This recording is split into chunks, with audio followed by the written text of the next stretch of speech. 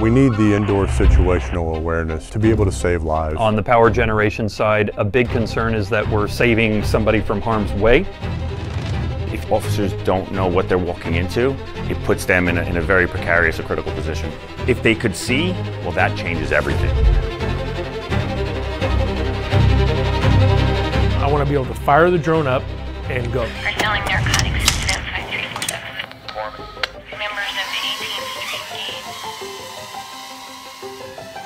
I want onboard lights built in. I don't want to have to buy accessories. I don't want to have to MacGyver things together.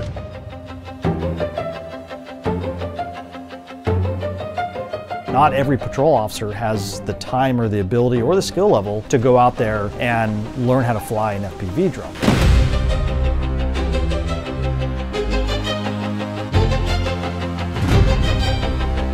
You could perch something like that on a countertop and start a negotiation through the drone.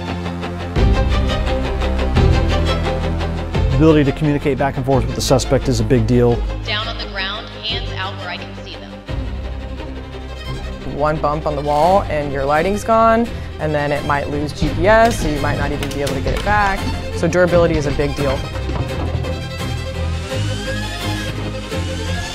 Having clear signal is critical because if I can soft search the house and then relay back to that team that's going to come in, then they know what to expect in real time and can focus on the scene.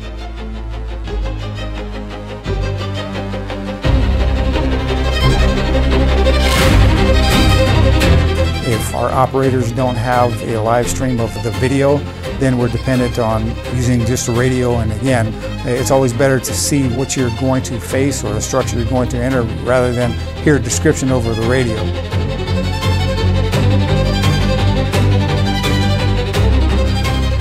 If we had remote operations in an indoor drone, we could have someone simply turn it on and then pass off control to remote pilots and support the tactical teams in real time.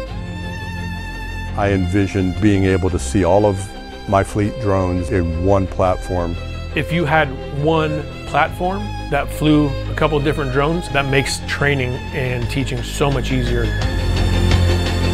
I don't like to necessarily just say that it's only for indoor use. The same drone that could be used for indoor can also be used for confined spaces.